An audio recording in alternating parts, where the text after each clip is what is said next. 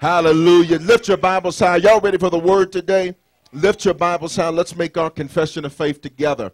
This is my Bible. It is the living word of God. My mind is renewed and my spirit is prepared to receive the word which produces faith. And faith pleases God. I'm not just a hearer of the word. This word, shout it out, I am. Hallelujah. Remain standing if you would. Flip to Acts chapter number 16. Acts chapter number 16. Of course, last uh, week we finished our series, The Gospel. How many people you enjoyed that series? Hallelujah. So, so today is uh, free throw day. Acts chapter 16. And I want you to get to verse number 1. Acts 16, number 1. You got it? Hallelujah. If you're still flipping, that's all right. You can look on the screens. Verse 1 Then he came to Derbe and Lystra, and behold, there was a disciple there named Timothy, the son of a certain Jewish woman who believed, but his father was a Greek. He was well spoken of by uh, of the brethren who were at Lystra and Iconium. Paul wanted uh, to have him go on with him, and he took him and circumcised him because of the Jews that were in that region, for everyone knew that his father was Greek. And as they went through the cities, they delivered to them the decrees to keep, which were determined by the apostles and elders at Jerusalem. So look at me. Here's what they're doing. Paul, they're going. He's now got Timothy, who is adopted as a spiritual son to him, and they're traveling and they're giving the decrees and the order that the leaders of the church had set so that all the churches can be together in unity. You with me? Now look at verse 5. So the churches were strengthened in the faith and increased in number daily. Now, when they had gone through Phrygia in the region of Galatia, they were forbidden by the Holy Spirit to preach the word in Asia. Now, that, that, that's a bit of a paradox because why would God prevent them from preaching? okay, I can see we're going to have to dig this experience. All right, verse 7 after they had come to Mysia, they tried to go into Bithynia, but the Spirit did not permit them. So now we've got two instances where they're trying to do a good thing, but obviously it's not a God thing. Verse 8 So passing by Mysia, they came down to Troas, and a vision appeared to Paul in the night. A man of Macedonia stood and pleaded with him, saying, Come over to Macedonia and help us. Now, after he had seen the vision, immediately we sought to go to Macedonia, concluding that the Lord had called us to preach the gospel to them. Father, you hear me and you always hear me. I thank you that over these next few moments as I share and deliver your word, Father, that we would understand that there is a blessing in things that you block that we would understand that sometimes everything that's blocked is not the devil, everything that's blocked is not a satanic attack, but sometimes it's you that's blocking certain things that look good, but they're just not God. And we thank you for everything that you've blocked this far. Open our spirits to receive now in Jesus' name. Somebody shout hallelujah. As you take your seats, high five somebody, say, God blocked it, God blocked it, God blocked it. You can be seated. Uh, too often we assume that everything that doesn't go according to our plan is a bad thing or it's something of the enemy. And often we make the miscalculated assumption that all resistance is a sign to press harder, uh, that all resistance is a sign that we need to pray more, that all resistance is a sign that we need more faith. But the text makes it clear that that's not always the case. It, it, it seems even paradoxical that God would allow them to see an open door to do something good good, but then he is the one that prevents them from walking through that door. Has anybody in the place ever been in a situation like that where you think you know that what you're looking at is God's plan for you to do, only to get there and have God to be the one that blocks you from pursuing the plan? Uh, it seems almost cruel that God would allow you to see a great open door, and then the moment you walk up to the door, He shuts the door in your very face. And that is what happened now to Paul and Timothy because the scripture says the Holy Spirit forbid or prevented them from preaching the word. Now, preaching's a good thing. The people need the word, but it is God Himself that stops them. Touch your neighbor, say sometimes God blocks it, sometimes God. Uh, God is so awesome because He is the only one that is able to play chess with Himself. Uh, God is in his great awesomeness. God has been playing chess with himself throughout your life, always positioning you just right for what he has planned for your life. See, I'm here to let you know you may think that it's not going to work out and you may think that things aren't going to happen, but I'm here to tell you God has invested too much into you, saving you and healing you and pulling you out of the mess that you were in. And I'm here to tell you he's not going to lose on his investment. I dare you to touch somebody and say, God's not going to lose. He's not going to lose. The scripture says that the steps of a righteous man, who's the righteous folk? Us. Why? Because he's given us his righteousness. Not because we do everything right, but because he did one thing just right. When he went up to Calvary and paid the penalty for my sin, he made me his righteousness, which means he orders my steps, which means sometimes he'll tell me to step left only to block that door. Are you still here? Now, now, now, now, now, now. It says the Holy Spirit forbid or prevented them from preaching the word. But now notice this. He only prevented them from preaching in certain places. He didn't say they couldn't do it. He just said not in those places at that time. Let me translate for your neighbor. He wasn't saying you got to be single forever. He was just saying not them and not now. He wasn't saying you'll never own that business. He was just saying not this one and not at that time. Am I, am I talking to, to, to, to anybody? He wasn't saying no. He was just saying not now. Touch your neighbor say, God blocks it. God blocks it. In fact, the scripture goes on to say that Paul went to Ephesus to preach, and Ephesus was in Asia Minor, and it spread through all, all of Asia uh, in just a little over two years. That's in Acts chapter 19. But he did that later. Say later. Uh, sometimes uh, denial does not mean denial. Sometimes there are things that God has to work in you and work out of you so that when He puts you in the place He's ordained for you, you're ready for that place. I know you wish He'd do it now, but God says you're not ready for it now. And if I put you there, you will self destruct. And I've invested too much into you to build you up to let you get to a certain pinnacle in life to fall.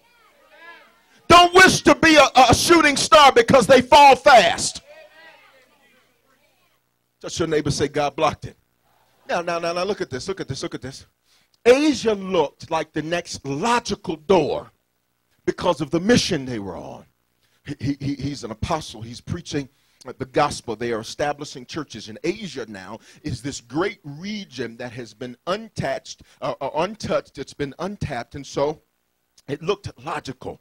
Uh, what I found out, though, is what looks logical to us normally makes no sense to God. Matter of fact, the scripture says, and as they went through the cities, they delivered the decrees to them, which were determined by the apostles and elders in Jerusalem. So the churches were strengthened and faith and increased in number daily. But God doesn't do things in a way that makes sense to us. That's why the scripture says his thoughts are not like ours, they're higher than ours. Because to Paul, Asia was, it made sense.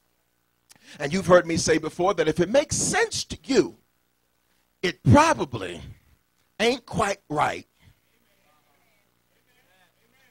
Say, God blocked it. Now, now, now, now, watch this, watch this. The reason God does things differently is not just to aggravate us or to annoy us or to keep us on this never ending quest to try to find something that He's already made uh, unfindable, if you will. I know that's not a word, but you understood what I meant when I said it. It's because he works differently. Isaiah 46:10 says this. He declares the end of a thing from the beginning.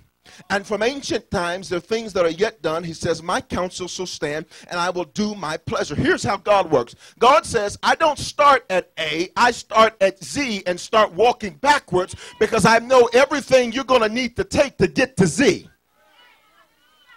God says, I don't count from A to Z. God says, I'll start at Z, but I know to get you to Z, you're going to need a. No. You're going to need a Y. But before you can get to Y, you're going to need a. Okay, all right. Just want to make sure now. One.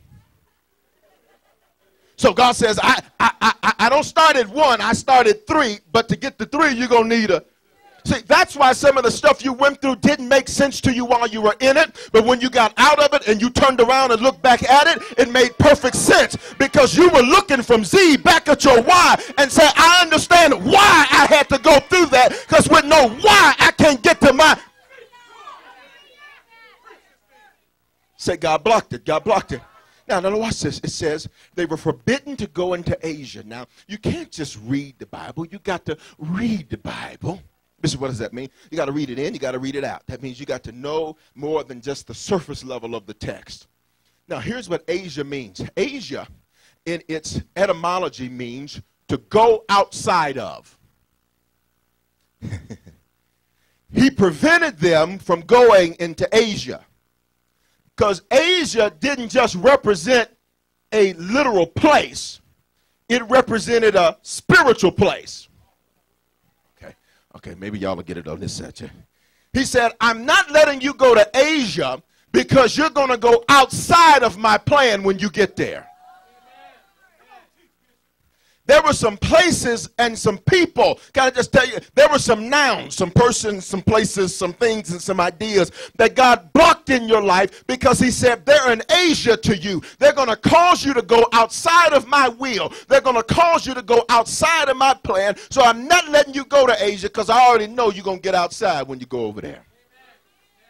And so you thought it was going to work out just perfect because you thought you knew them and you had went to school with them and so you had history.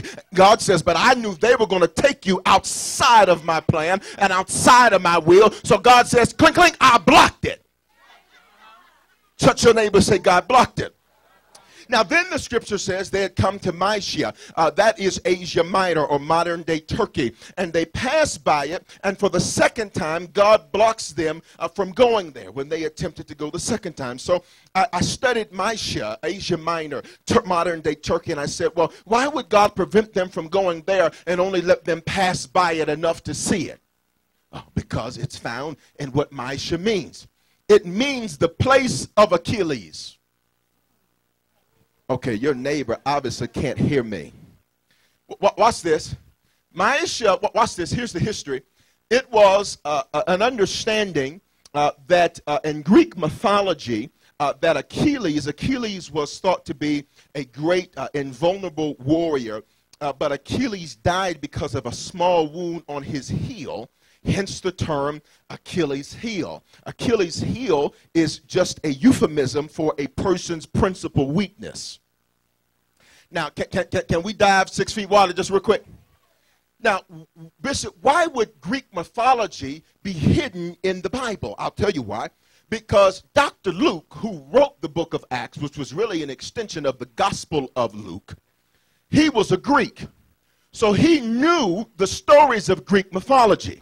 So what he did is, as opposed to calling it Asia Minor, he calls it Mysia, which means he hides in the text that in this place, this is the place of Achilles, which means he hid Greek mythology in there, knowing that when a Greek person read it, they know that the reason God kept them from going there was not because God didn't want those people to hear the gospel, but because when Paul and Timothy got there, they were going to find their greatest weakness there. Oh God, did you hear what I just said? There are some nouns, some people, and some places, and some things, and some ideas that God says, I knew if I let you hook up with them, or I knew if I let you into that place, that you would activate your greatest weakness. It would be your Achilles heel. And so I let you see it, but I did not let you into it because I knew that it would be your destruction. Okay, I can't get nobody to say nothing. He, says, I didn't let you go there because I didn't want you to activate your greatest weakness. Here, here's the truth of the matter there are places and there are things, and there, there, there are things that if you see it, you already know it's going to activate something in you. That you feel like Paul sometimes. I, I, I wish to do right, but every time I wish to do right, evil's right there. Come on, can we be honest, You, you, may say to yourself, I, I, Lord, I want to do the right thing, but every time I want to do the right thing, it just seems like evil. God says, So I block you from going outside of my plan, and I block you from your own greatest weakness. Touch your neighbor say, God blocked it. Oh, okay, okay, I can see I ain't got nobody with me. So, okay, okay.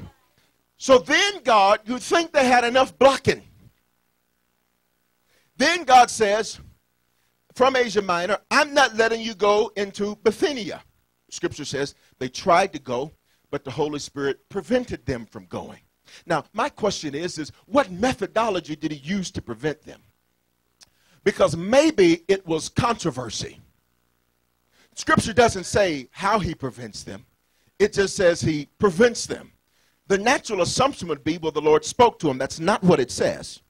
It says he prevented them, which means God says, I'll use whatever, whoever, whenever, in order to block something. God says, I'll use betrayal to block somewhere you don't need to be. Okay, I, I, can't get nobody to say nothing. Preach, Bishop. All right, I will. God says, I'll use deep hurt and pain to block you from going somewhere you have no business being. He says, I'll use whatever. So now we come to Bithynia. And so now again, God blocks them. Now I said, God, why? Why would you why would you block them? And when you study Bithynia, you get into a lot of Greek mythology and the Greco-Roman culture, but it doesn't really have an etymology for the name. So then I figured out that uh, Bithynia wasn't Paul's territory. First Peter chapter 1 tells us that Bithynia was a territory God had assigned Peter to. Now just flow with me for a moment. Uh, Peter was very effective at reaching a certain group of people. Paul was very effective at reaching a certain group of people. And God would not allow Paul to go into an area where Peter was equipped to go. Okay, okay, okay. If y'all just roll with me, we can get this. Peter was anointed. That means he was given grace and favor by God. He was gifted and he was talented to do things there that Paul wasn't anointed for. That is the reason why God created places before he created people, because when you get in the right place, uh, what's on the person will, will become activated. You never see the genius of a fish until you put it in the right place. What's the right place? Water. You'll think a fish is an idiot if you put him on a table because he's just there flapping. But when you stick him in water, all of a sudden his gift comes alive. All of a sudden his talent comes alive. That's why it is about being in the right place at the right time. Because if I'm not in the right place, I'll look like a fool because my gift and my talent and my grace is not being used. So God says to Paul, I'm not letting you go to where Peter's anointed because when you get there, you're going to try to act like him. And I don't need you to act like him. I need you to be you you. If I wanted two Peters, I would have made two Peters. So you can't go there because you're going to try to act like him. And the worst thing a believer can do is try to act like something they've not been gifted to be. So God blocks him from Bithynia because it wasn't his lane. And had he went there, he would have spent all of his time trying to do what Peter did, not understanding it wasn't something Peter did, but it was something that was on Peter. Okay. You think after this, God will leave him alone. But now we have a fourth instance here where the scripture says, after God prevents him from being in the wrong place, which is assigned to another man, he says, watch this. He says, he says to him, uh, he sees a vision of a man in the province of Macedonia. Now, now you think, okay, what is God doing? What is God up to? He's blocked him from going to Asia, Mysia, and Bithynia. So now how is God getting ready to play with him? Remember, this isn't a game for God. This is about divine positioning and divine timing. He sees a vision of a man saying, Come to Macedonia and help us. And he concludes that it was God's will for him to go to Macedonia. What does Macedonia mean, Bishop? That is a wonderful, very intelligent question you've asked. Macedonia means the place of the highlanders. Let me go ahead and break it down. It means a place where high people dwell it's a high place. God says, You're not going to the place where you're going to get out of my will. I'm not going to let you to get to the place where you're going to activate your Achilles heel. And I'm not letting you go to another man's territory. What I'm going to do is send you to a high place where you're going to be able to do great things. And it was in this high place that you remember the story in Acts chapter 16 where they were thrown into prison. And the Bible says at midnight when Paul and Silas began to praise God that the prison began to shake and the doors began to open. And it was in that place, Macedonia, where the Philippian jailer was saved. And that Philippian jailer is the man that starts the church at Philippi. Uh, it is in that place, Macedonia, where he starts a brand new church at Corinth and much more. God says, I blocked all of these moves moves in your life to get you to a fruitful place, to get you to a high place. Don't you be crying over what I blocked because if you just get into what I've opened. He took him to a fruitful place. Touch your neighbor, say a fruitful place. Sometimes God will prevent us from a certain goal at a time when it's not divine. That's why God would back something. That's why he would do it. He would do it because of divine timing. The scripture says in Ecclesiastes, there is a time appointed for every purpose under the sun. And God says, there are things I will block when the timing's not right. And you just have to know that if I'm preventing you from getting somewhere, it's because you're exactly where you need to be for now. I can't hear nobody. I, I can't hear nobody. If you feel like your dreams are stalling and your goals are in a holding pattern, don't assume you've made a mistake. It's going to happen. It just has to happen at divine timing. He's not saying never, he's just saying not now. Bishop, why? The first reason, fine, first reason he, he, he'd block something is because maybe you're not equipped for it yet. Maybe there's more you need to learn. Maybe there's some things you need to you, you need to get an understanding of. Maybe there's some people you got to run into that are necessary for the next leg of your journey. See, people are like scaffolding. Some of them are only there to build you to a certain place. Okay, all right. He says, he says, he, he says, maybe you're not ready for it yet. I know you think you are. But the reality is, is you don't know if you are until the pressure of that level settles down on you. See, you say, I'm ready, I'm ready. Lord, make me, make me a star. I want to be a star. And God says, but you can't even handle Sister Cantaloupe talking about you. How you going to handle getting written up in the National Enquirer and in the star? God, I'm ready to be somebody. God, I'm ready for a million bucks. And God says, but you can't even do right by the 35,000 I'm giving you now. Maybe you're not ready or equipped for it yet. But the second reason, the second reason that that that that God would block something is maybe it's not ready for you. Maybe it's not that you're ill prepared. Maybe it's that it's not ready for you. Now that's that's quite an enigma there because it suggests that God says when you get there, watch this.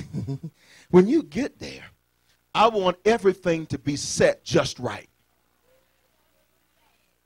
Have you ever gone to, to a place where you had a reservation? Maybe it's just me. Let me talk about myself. That way your neighbor don't feel bad.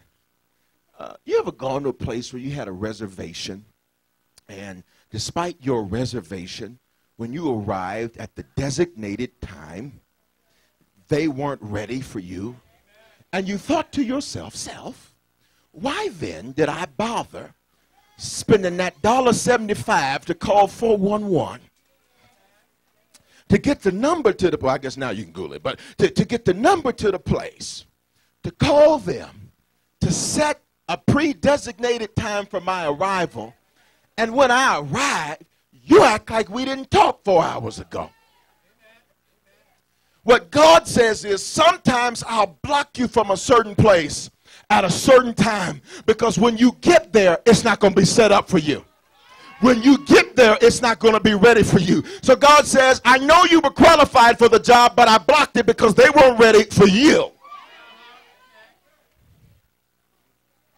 Somebody shout, God blocked it. Now here's the enigma because here's the enigma because I know the question everybody has on their mind is how do we discern when we should yield to God blocking something and how do we know when God wants us to be like David and pursue something? That's the dichotomy that we face because how do I know if this is God saying wait or if this is God saying fight? Because both messages look the same. Okay. All right. Okay, let's dig. Okay. Here's the truth of the matter. Both messages of God saying, wait, and God saying, pursue and fight, look exactly the same. Prevention. And there are some things that God says, now I want to see how bad you want it.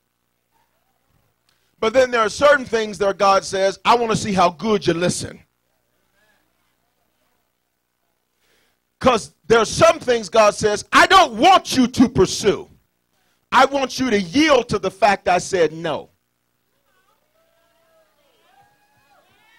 There are certain things God says, I don't want you to get on the phone and fight. I just want you to sit back and let it be what it is. So the greatest enigma we face with God blocked it is how do I know when he's blocking something and how do I know when he wants me to pursue something? Here's the answer right here. It's one answer. You ready for it? It's two words. It's two words. It's one phrase. You ready? Calm down. That's the point. That's the whole point. This is a one point message. Calm down. Bishop, Bishop. Bishop, what do you mean? What, what, what, what do you mean? What do you mean, calm down, Bishop? In moments of chaos and tribulation, and when plans in your life are changed without your initiation, and in your moment of panic, you lose your ability to be sensible. It's in moments of chaos you lose your ability for sensibility and you miss hearing God. Here's what the scripture says My sheep know my voice. Check out what you do. Something happens, you know what you do? Bah, bah, bah, bah. You're a sheep. So you know what you do? You whine and complain and backbite and murmur and do all of this talking. And God is saying, I was trying to tell you, I blocked that. But you couldn't hear me because you were trying to talk at the same time I was trying to talk. And I'm a gentleman. I'm not going to yell. So either you yield and be quiet and let me speak, or you'll be fighting a battle I never told you to initiate. And you wonder why the battle's so hard. It's because I'm not helping you. I'm not helping you because I only fight uh, uh, uh, wars that are my will. See, if it's his will, it's his bill. Your will, your bill. What's the point, Bishop? When You're in a moment where something that you thought was supposed to happen doesn't. You calm down and say, okay, God, talk to me. You got to be like Job. Remember Job, Job chapter 1? The messengers come and told Job, "Hey Job, listen, you lost everything. Your kids dead, their houses are gone, everything is gone. And you know what? You know what? No, most saints do. Most, say, oh my God, Jesus. Oh Lord, how this happened to me? Lord, I pay my tithes, I go to church, I understand. No, no, no, no. Job didn't do that. Job was silent. He was silent. And the Bible says he fell to his knees and he worshiped. Because he didn't want to fight a battle that God wasn't going to come with him on. So when he worshiped, what did he find out? God was behind it all in the first place. Can I tell you something? There is power in your silence. Silence of the lambs. You get that point. Write that point down. You remember that. Write that down. The lambs need to be silent. In the season that we're in, in the season that we're in, one of the greatest lessons a father can learn is when it's time to be silent. Because you want to protect your children from this and from that and from this and from that and from this and this, and this and that, to only realize that sometimes there are certain things teaching can't teach. There are certain things that only tribulation can teach. And sometimes, as a good father, you have to stand back and just say, okay, all right, I tell you what. I tell you what. I have nothing to say. Shh. Silence. Are the lambs and the lambettes. Because when God is blocking something, the worst thing you can do is get in his face and start fighting him to get what he blocked from you. Everybody stand on your feet. Thank you for tuning in to today's life giving message. Harvest exists to change lives by leading people to totally love God, love people, and love life as one church in global locations. And if you have a testimony of how Harvest has changed your life, let us know on our website Contact Us page. We're able to continue to change lives because of the faithful giving of people just like you. And if you'd like to contribute to Harvest financially, you can do so today online at www.harvestcc.me. Remember to love God, love people, and love life.